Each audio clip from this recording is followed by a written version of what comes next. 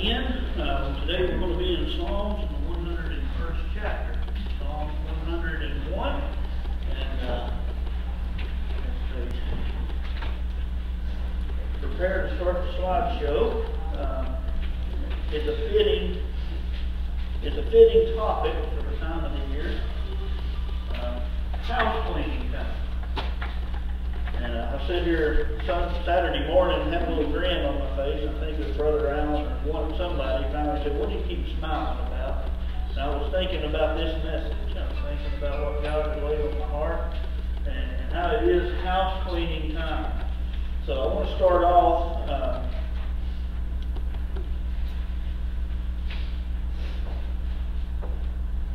I just want to ask you, but don't raise your hand. How many of you have cleaned up your house in the last year? Okay. How many in the last month? And again, don't, don't feel like you have to raise your hand. How many have cleaned up your house in the last week? How many of you have cleaned up your house in the last day?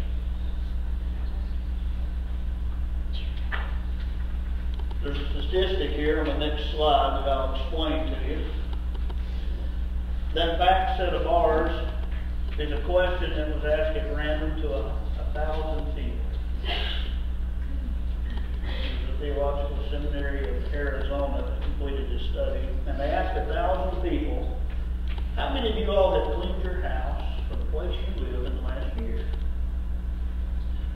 A thousand of them said they had.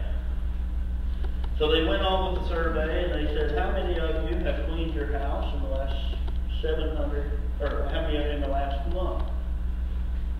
750 of those thousand said they had. So they dropped it down to weekly. Of those 1,350 of them said they had. And then they asked them, how many of them have cleaned your house at least three times and of the thousand in the back row, the peak back there represents 180 people. But this was completed near a theological seminary, so another question that was on that questionnaire was out of the thousand people, how many of you all have attended church once in the last year? 570 said they had. How many have attended church on a monthly basis? 209. On a weekly basis, 118 of the thousand. And three times a week, 26 of the thousand people. Sometimes it seems like all we do is cook, wash dishes, do laundry. I stole that line from my me say, let me sometimes it seems like all I do is cook, wash dishes, and do laundry. And again, that's my wife speaking, not me. It seems like sometimes that we're always cleaning our house. But how often are Christians found cleaning their spiritual house? The temple of God. Why do we have to have this constant cleaning? We have to constantly be willing to clean and take care of our spiritual house because we are constantly messing it up. A brand new home that has never had anybody live in it and it's got nobody trying to buy it and the doors are locked, it will stay but when life is taking place around that home, it's going to get cluttered. It's going to get dirty. Christians in church, our lives are going to get cluttered. And they're going to get dirty. How often are we willing to clean our lives? It requires constant cleaning. We must constantly be examining the things in our lives to see if they are keeping us from serving God, or if they are a hindrance in our spiritual growth. What is it that is in our life that needs clean today? There's hope, both in your secular home and your spiritual home. There's hope in the secular home, I'm gonna play a little game with the teenagers real quick. I know you all know to play Simon Says, right? So Simon Says, stand up. Teenagers. Thank you, Joshua, Alexis. There you go. There you go. Simon says to raise your hand. Put it down. Two are out. Y'all can sit down. And let me just ask you right now, who here will help my wife clean up the house this week? Look, look. All right, Simon says y'all can sit down. See, there's hope. There's hope. We make a little joke about that, but there's hope in the spiritual realm as well. There's hope through our Savior. There's hope through our Christ. There's hope through God's Word. Our dear brother Winston and Jake's never been so happy that they put their hand down. Put out the thing And we can have a little bit of fun with it. But today I want to look at the concept of cleaning up our spiritual home. And I want to look at three areas of our house or three areas of our life that we need to constantly work on keeping clean. We can also examine what we can do in order to help keep things clean moving forward. Psalms 101, we'll read, it's just eight verses. We'll read the, all eight verses. King David wrote this psalm, and uh, many believe the historical setting was at a time of his young kingship. He was probably still fairly new. And uh, this passage is one that is often known to a lot of worldly leaders, kings, queens have used it. Uh, a couple presidents have used this passage uh, to describe the way that they are their people and their nations of how they will rule and how they will lead. Uh, as we look at this passage, we realize that really the first four verses give us a very clear roadmap that we can use to examine our lives, to, to, to house clean, so to speak, and to protect ourselves from the filth of the world. Psalms chapter 101, I will sing of the mercy and judgment. Unto thee, O Lord, will I sing. I will behave myself wisely in a perfect way. O when wilt thou come unto me? I will walk within my house with a perfect heart.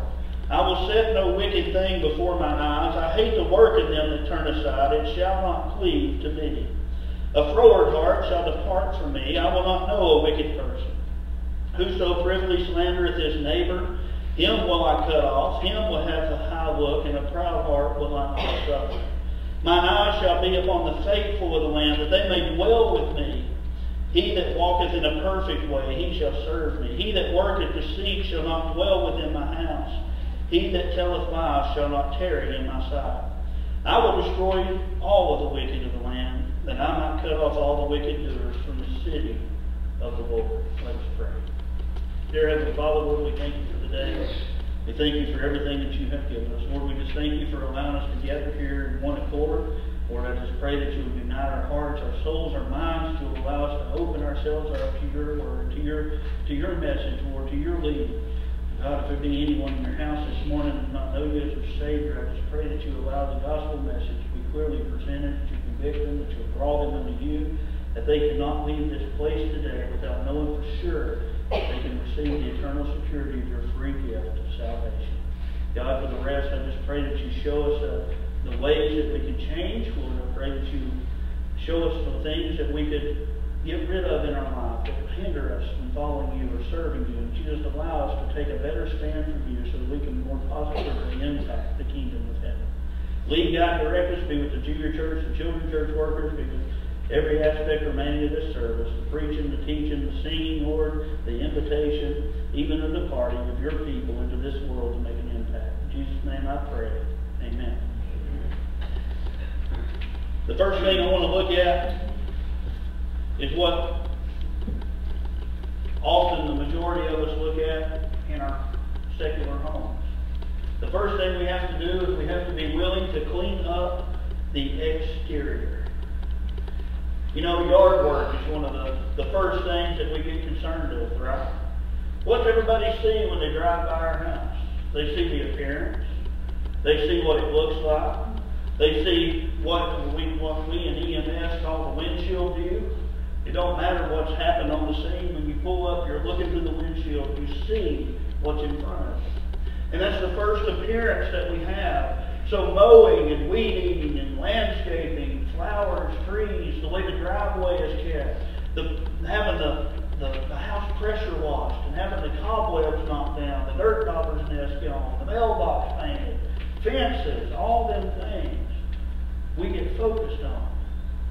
And when we talk about cleaning up our property, the first thing we do is clean up the exterior. Why? Because everybody in the world sees it. I know Miss Connie and Miss Birdie, you've recently had your house on market. What's the first thing the, the realtors tell you? You got to clean up outside, and then we come inside. We got to make sure everybody that drives by that property sees beauty.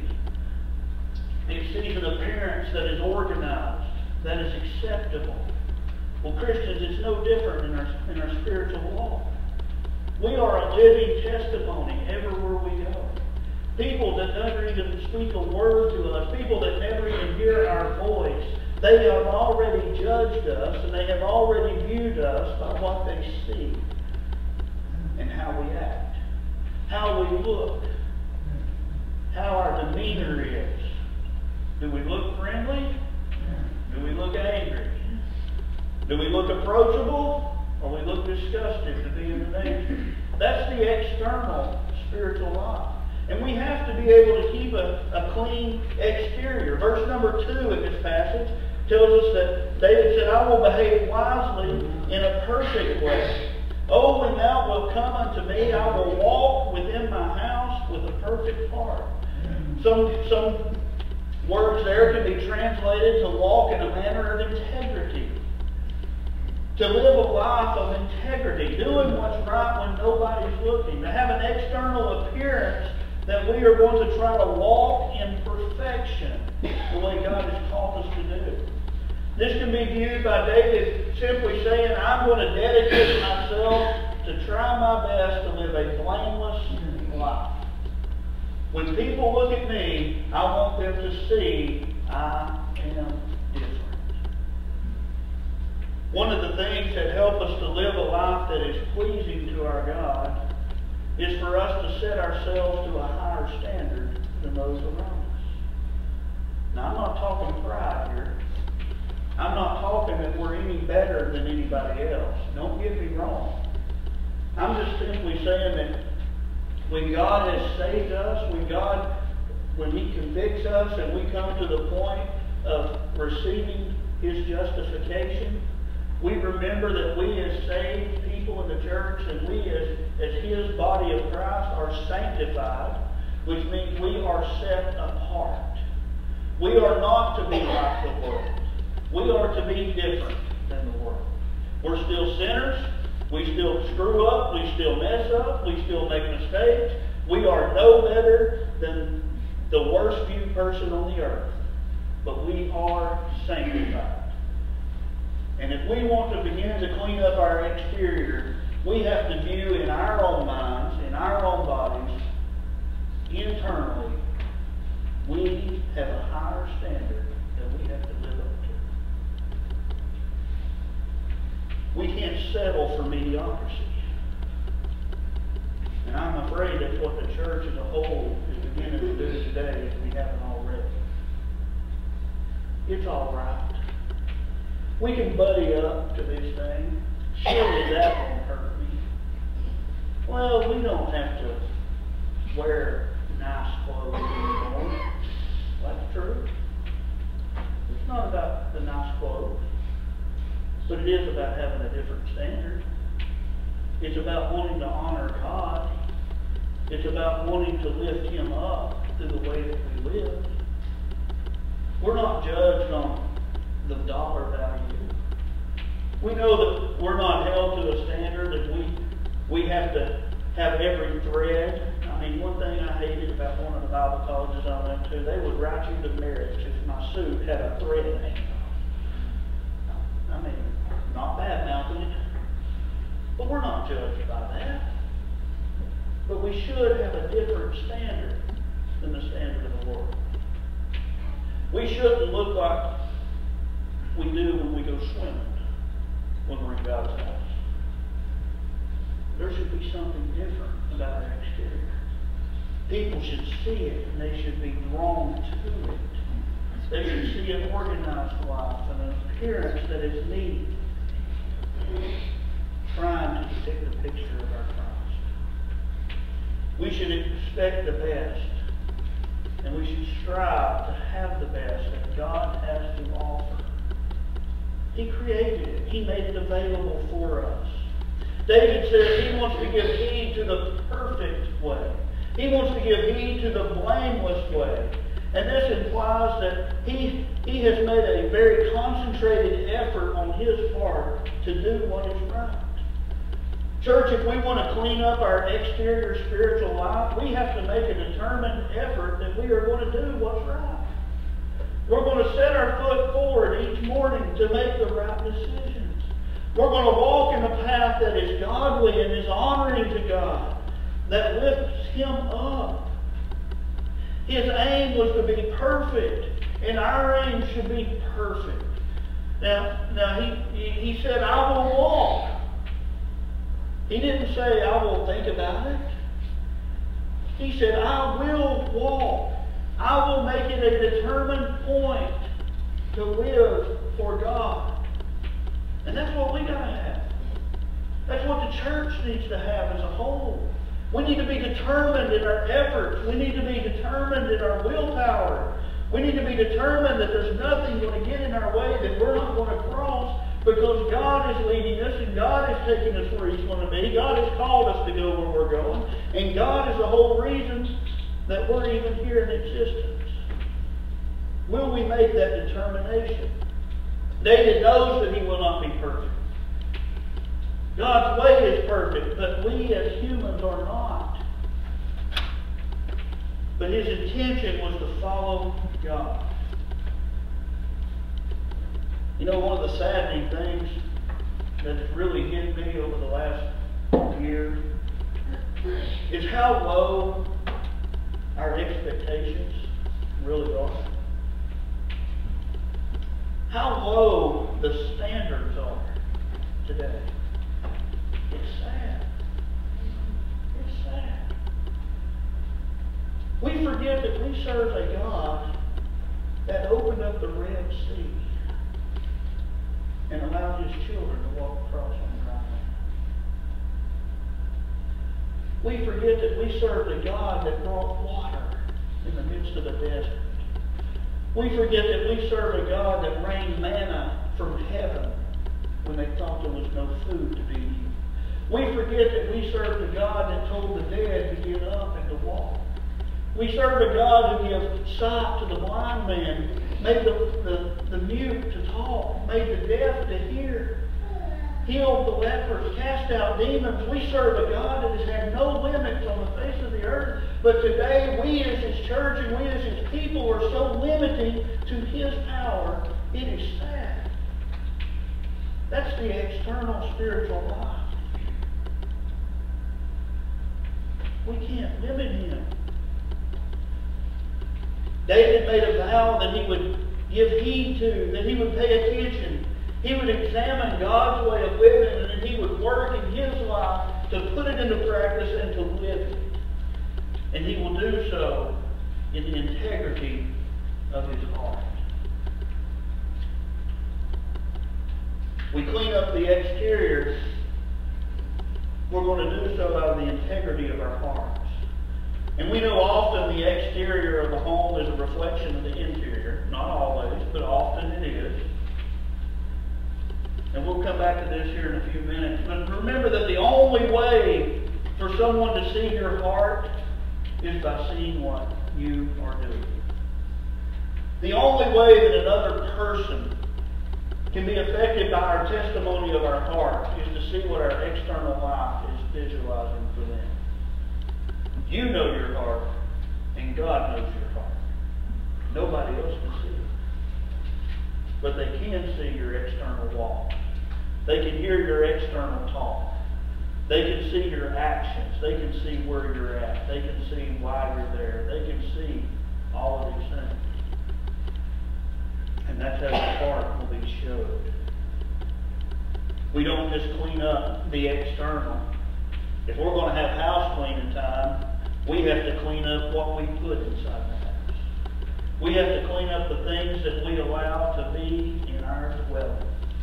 Now, I know probably none of you mothers, none of you fathers would allow an inherently dangerous object to be just laying around in your house, would you? No. You take safeguards. You lock up things that are dangerous. You don't have little kids and leave, leave the, the rat and mice killer and the, the herbicides laying on the counter, do you? No. We would never do that. But spiritually speaking, what do we allow to take place in our, in our homes that are dangerous, that are detrimental, that are hurting us, that are tearing us apart? Why won't we clean those things up? It's house cleaning time. Verse number three gives us our guidance on this. I will set no wicked thing before mine eyes. I hate the work of them that turn aside. It shall not cleave to me. We need to clean up what we look at. We need to clean up what we listen to. We need to clean up everything that we live around. Because if we don't, it will become a detriment to the service of Christ. It is so important that we clean up what we put before our eyes. David speaks of not setting any wicked thing before his eyes, not setting any vile thing, not setting any dangerous thing, any vulgar thing, anything worldly. David wanted to refuse to put before his eyes. This implies that he himself would not purposely put anything in front of himself that would hinder his cause for Christ. How about us today?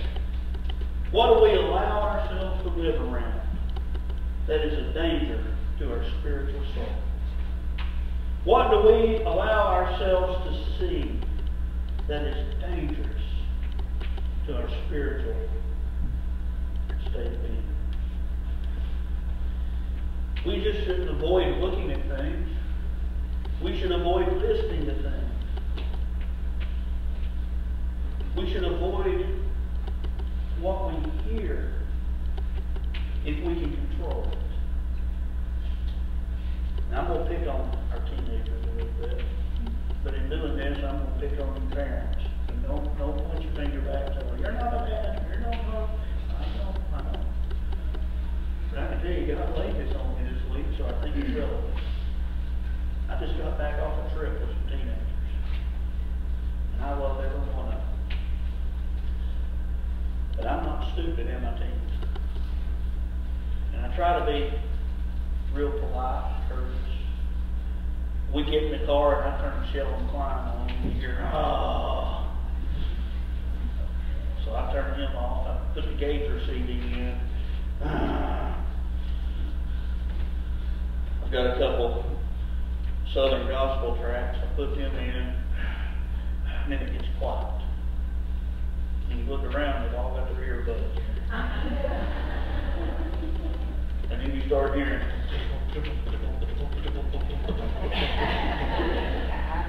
I just drive, I'm just listening. There's no danger in that? Parents, I want to, I want to, I want to challenge you. I want you to take them songs, and I want you to look at the lyrics. I've got some teenagers that'll testify they had no clue what the words of that song was until I pulled them aside and we looked it up. And that beat, I better stop or I'm Tanner, I don't anybody think I'm Southern Baptist preacher up your head banging. That's what the teens look like going to trip. We talked about appearance. But I challenge you. What you listen to. And it can be detrimental. But that's a Christian song. Oh, is it? Hmm. I go back to the song Hallelujah, Brother Travis pointed out. It starts out David. He played some songs with the harp, and it was beautiful. Some chords, yeah. Look at the whole song. I'm glad you rewrote it. Travis got a Christian version to it. It's dangerous, but we allow it to be a part of our life. It's time to clean house. What we look at, what we listen to, has a deep effect on us. What goes in through the eyes and what goes in through our ears goes into our minds. And it gets replayed over and over and over and over. You know there's really no delete button to the brain? There's no delete button that we have access to to remove things that go in our brain. What we live around, what we see, what we listen to can be dangerous. You all know the old saying, if you play with fire, you're going to get fire. Christian, if we play with the things of the world, you're going to get burned. There's no way around it. We can't get away from it. Philippians 4 8 tells us, Finally, brethren, whatsoever things are true, whatsoever things are honest, whatsoever things are just, whatsoever things are pure, whatsoever things are lovely, whatsoever things are of good report, if there be any virtue, if there be any praise, think on these things. Is our homes full of virtue? Is our homes full of praise? Proverbs 23, 26 encourages us, with my son, give me thine heart and allow your eyes to observe my ways. Oh, if we could just learn to give God our heart. If we could just learn to give God our ways and allow him to lead us. Protect what goes in your home.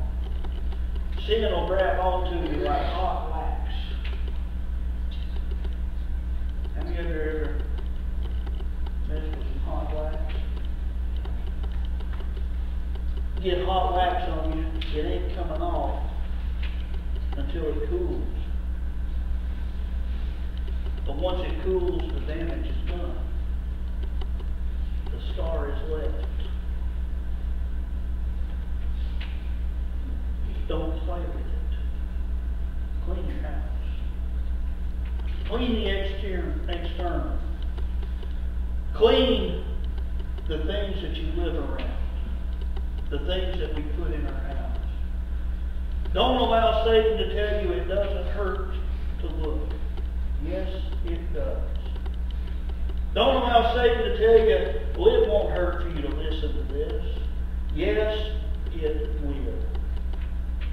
Many times when we seek the wrong path, many times when we as Christians the straight and narrow, so to speak, and we begin to venture out on our own accord and by our own direction, by, every time we continue to allow the things of the world to be among us and in front of us and to dwell around us, we often get snatched up by the things of the world. And sometimes we don't get shaken free from it until the damage is done. Just like hot wax. Stay away from it. Clean up the external. Clean up the things that are around it. And y'all know what the last one is. Clean up the inside. Clean up the heart.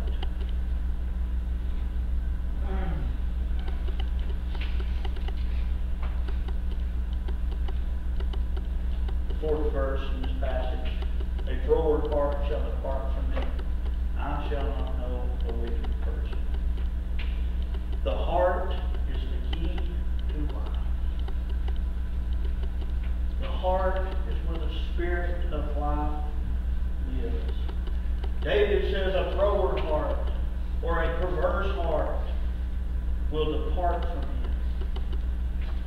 That means it is a heart that is false, a heart that is depraved, a heart that is deceitful, a heart that is wicked. David has set his foot forward and simply saying, I'm going to take everything that is vile within my heart and I'm going to root it out. And I'm going to get rid of it because I've got to have a clean heart to follow my Lord. To do that, David had to take a very close examination of his heart, of his inside. He had to examine his motives. By the heart that our actions will spring forth in the way they live. I want to give you some sins of the heart that we've got to be aware of. That we've got to be conscious of, that we've got to be willing to, to fight at every cost. This list is numerous. For the sake of time, I just want to mention a few. Pride. Guard your heart from pride. Jeremiah 9, 23 and 24, Thus saith the Lord, Let not the wise man glory in his wisdom, neither let the man glory in his might. Let not the rich man glory in his riches, but let him that glorieth glory in this, that he understandeth and knoweth me, that I am the Lord, which exercise loving kindness, judgment, and righteousness in the earth. For in these things I delight, saith the Lord. Christian, if you're going to have pride, it better not reach around greater than you have in pride that God is living your life. The very moment it becomes about what you've done, the very moment it becomes about what you want to do, the very moment it becomes about what you're going to do, the very moment you get brought into the equation, you're setting yourself up for a fall. You're setting yourself up for condemnation. You're setting yourself up for heartache and despair. God tells us in Jeremiah, let not you glory in any of this, but glory in that you understand and know me, because I am the Lord. And I will give you all of these things. Examine your heart. Is any pride? If so, let's clean it up. Let's clean house. Covetousness. Exodus chapter 20 and verse 17. Thou shalt not covet thy neighbor's house, nor his wife, nor manservant, maidservant, his ox, his donkeys, anything else that's a neighbor. God teaches us not to covet. But today, one of the most prevalent sins of the heart, I'm afraid of, falls in this. We see what others have. We see what others have, have. And we want that. We feel like God is not blessing us because they have this. You're setting yourself up for a fall. You're setting yourself up for trouble. We only have what we have because God allows us to have it. And God gives us exactly what we need. He gives us what we have the capability to be responsible to. He knows it wouldn't be a good idea for me to walk around the corner and find a billion dollars. I would waste it. I'm just being honest. We can't covet. We can't. We got to clean our hearts. We got to clean up the inside. How about the sin of self-glorification? This is a big one today. God says that we should do everything for His glory, not ours, not mine, not yours, not this community's, not this church's, but His glory. I simply challenge you this morning, is everything that you are doing done with every breath for nothing less than the glory of God? Or are we doing it for ourselves? Well, this one's hitting me like a ton of bricks this week. It really puts us back where we need to be.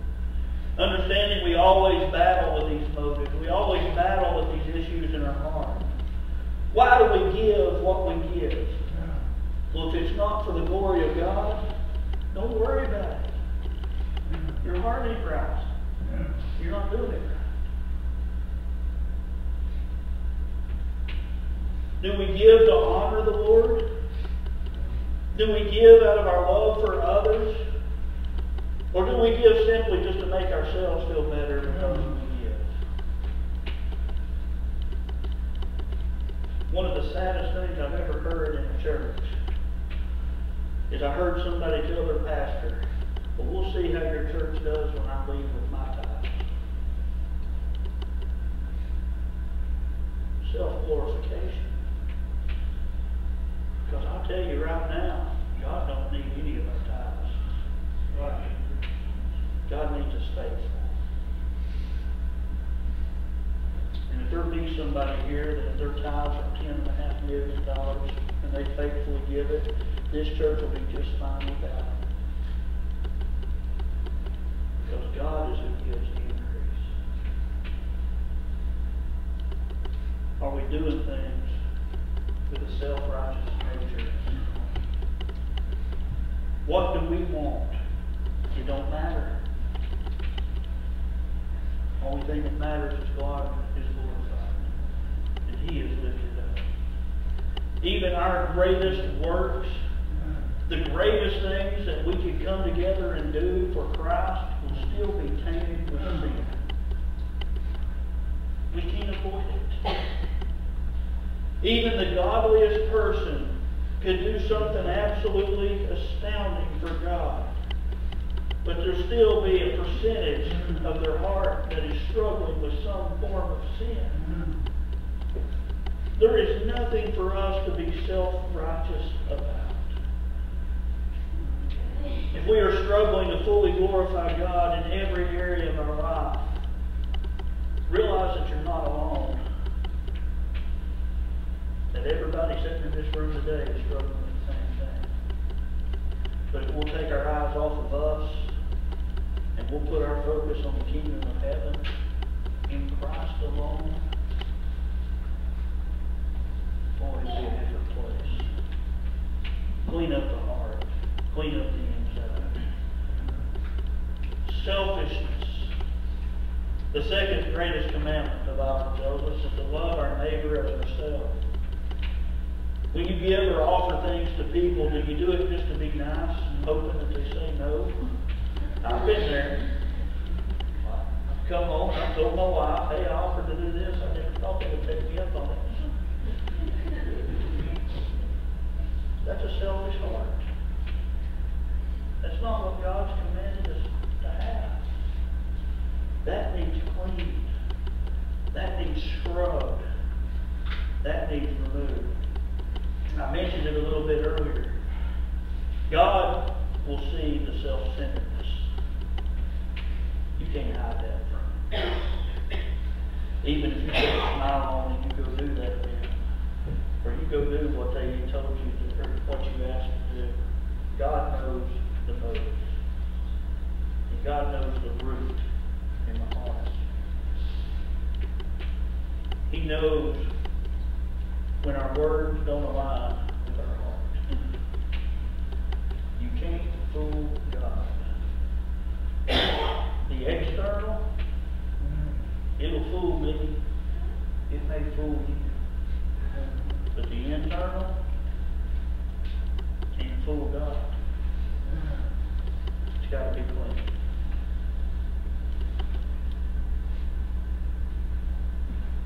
We can be so selfish at times. But a believer trying to follow Christ in every avenue of his life will not allow selfishness to control their life. As we close this point,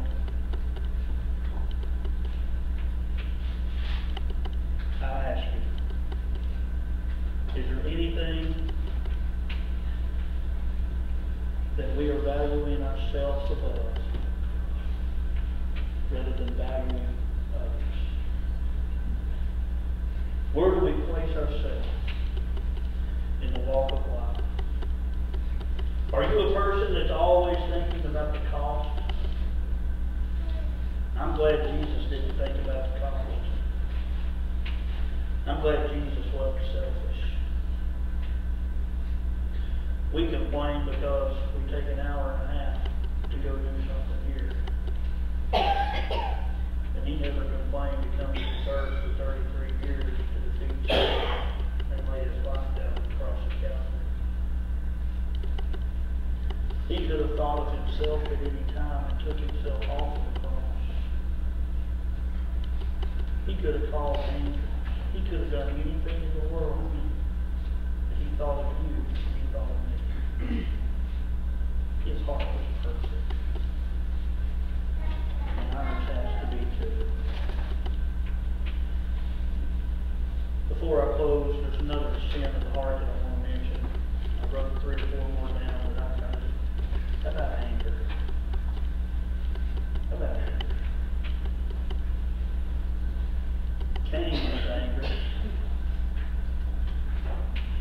Joseph's brothers were angered. Oh, but those are those are big those are murder. Those are selling my brother into slavery schools. I'm not going to be that angry. Moses was angry. What did Moses do? Hit the rock twice. What did it cost him?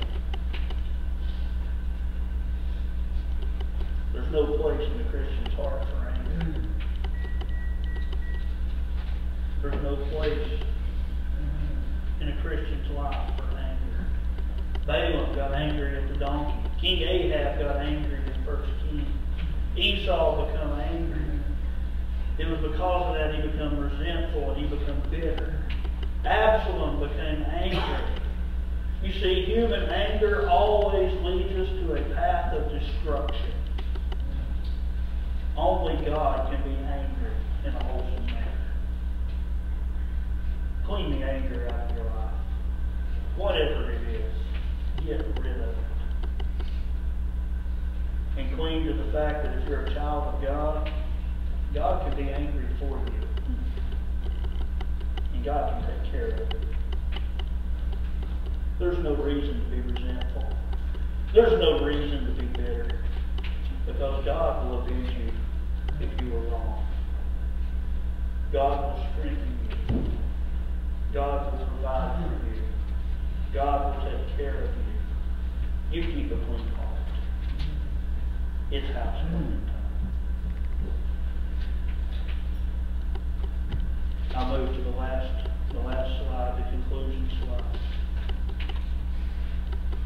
In our lives, there is a cleaning process that never, ever ends.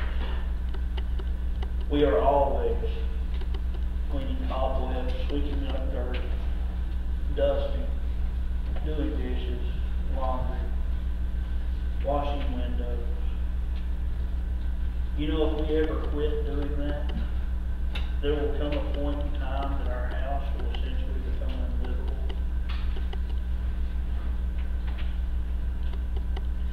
If you decide to quit cleaning up your life spiritually as a child of God, there will come a day where your life seems spiritually unlivable. You will allow so much of the world to come in and to burden you and to bog you down. We know the story of David's life. David broke most of these promises. Most of these things that he said, David gave in to. David made his own life very difficult because at times he forgot to follow his own words. But even after all of the mistakes that David made, even after all of his iniquities, his infallibles, God still considered David a man after his own heart. Why? Because David always found a way to turn back to him. And the concluding thought today, what keep we clean? Externally, sitting on the shelf around us, or internally, to allow us to serve God in a better way? What can we turn back to God today? There's a three-step process. First, be transparent and be honest with God about your sin. Psalms 32, 5 says, Then I acknowledged my sin to you and did not cover up my iniquity. Just fall on your face before God and say, I'm a sinner. I've made a mistake. We can't hide it from you. Just let it out. And then ask God to wash you and to clean you up inside. Psalm fifty-one, seven and ten tells us that he will wash us whiter than snow, that he will create with us a pure heart, that he will make us to walk a renewed life and a steadfast spirit that will dwell within us. God, I'm sorry. God, let this come in. God, wash me. Cleanse me. And then don't deny your sin and receive his cleansing.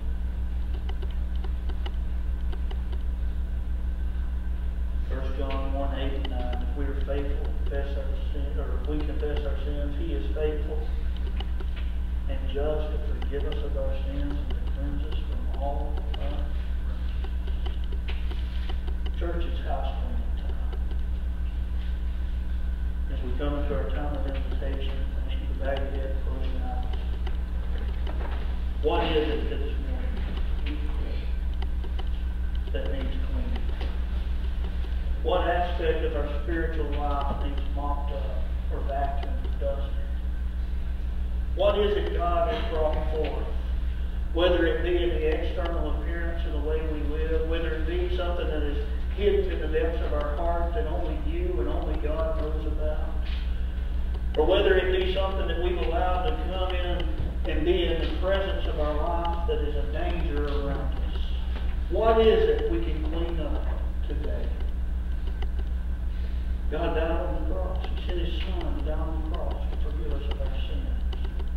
If there's anybody here that has never accepted the Bible tells us how easy it is. Confess your sin. Believe in your heart that God has raised him from the dead. Thou shalt be saved. That's the initial cleansing that we all must have. But what is it we can give to God today? What can we turn back from?